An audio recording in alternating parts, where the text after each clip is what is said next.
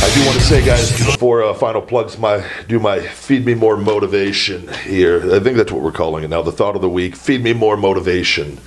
And uh, this week, unfortunately, uh, I'm not going to do anything with the quote book, or it's just more, uh, you know, with the with the passing of, of Kobe Bryant and his daughter, uh, and and uh, the other family and people on that helicopter.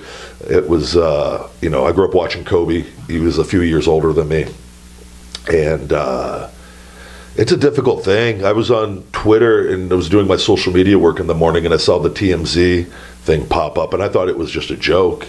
I was like, "There's no way," and then it started popping up more and more, and then I, I go, "Shit!" I did a search and started seeing more and more stuff, and then it was all being quoted though being the TMZ thing. I go, so maybe they're wrong, and, uh, and then it was like confirmed in multiple things and from other sources, and it's like holy shit. Then they had the footage, and as far as afterwards, and you know, I think it's uh, nothing but I, I send out nothing but just you can't help but feel for the families and everyone involved and you know, Kobe's wife and, and their other daughters, that their life their lives are drastically have drastically changed. And i think for any of us it, you know i know certainly for me can't even imagine if you just your family's just taken away from you um, and trying to figure that out and have it make any sense which i don't think it ever will.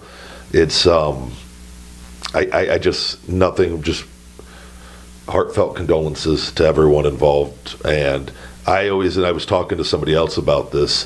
For me, I think you, you, try to make sense of something that doesn't make sense because that's, I think, what we do as humans. And uh, I look at it, I go, well, this guy, maybe, and it's it's fucked up regardless. There's no other way, but I, I go to what sense could I make of this? And I, I just said, this guy was put on this earth uh, and achieved a massive level of success. That's what we see.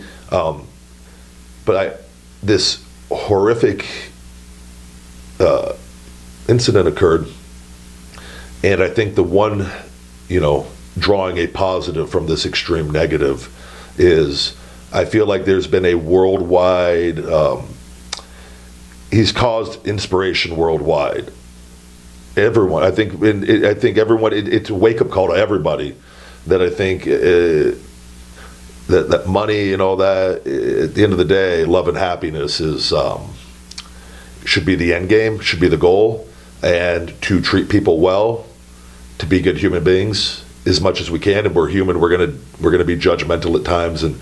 But I think at the end of the day, we have to kind of just like realize, like, hey, this shit can be over any fucking day. It doesn't matter who you are. It, it, literally doesn't matter who you are. It doesn't matter what you do. It can be over any day. So to be grateful for each and every day, and I know for me, that's what it really. I, I, how you can't draw inspiration from that and, and feel, and uh, it just kind of made me look at you go, what am I doing? What can I what can I do to get even more out of every day? And um, that, to me, that's the only way to look at it. And obviously, I'm not, and it's in on the other end for the families. I can't even. It, it doesn't make sense. I mean, it won't. So there's no no point of trying to that, and it's just I hope to God that they can uh, do overcome it with time, and ne- never overcome it as far as the, but. Um, you see with people in life, the people that go on to inspire uh, the masses like, and do great, great things and become just exceptional human beings tend to have come from really bad situations. So that for me is my hope that everyone involved with all of this and the families can somehow use it as the inspiration and motivation to to help others even more. Um, because there's no other way to look at it. I don't really know, you know. And uh, man, I grew up watching that guy. I love those uh, Lakers guy, and I've never been like a huge basketball guy or anything, but I enjoyed watching. And man, I love I love greatness and people that uh, work ethic. And I think if you see the videos of uh, a lot of the things that he did behind the scenes and uh, the amount of lives that he touched, and, and it's uh, and I'm sure as everyone involved did, I just think Kobe it was on camera a lot more. And uh, man, it's uh, it's a crazy world we live in. So my heart goes out to everyone involved. I'm I'm truly sorry, and it's uh, we got to take advantage of each day, guys. We really do. It's uh, it just makes you think. That's all. I mean, I, every day, and I didn't know them. I had no interaction with them, but I think about it every day because it's just like fuck. Whew, it's rough. So, and then for the kids out there and stuff, and don't be one of those that I saw some people making jokes on online on social media, and don't do that. It's not. It's not. It, don't do that because that shit will come back to bite you in the ass. Don't do that. Be better than that, and don't be a piece of shit. And with that, guys, wrap up this week's show.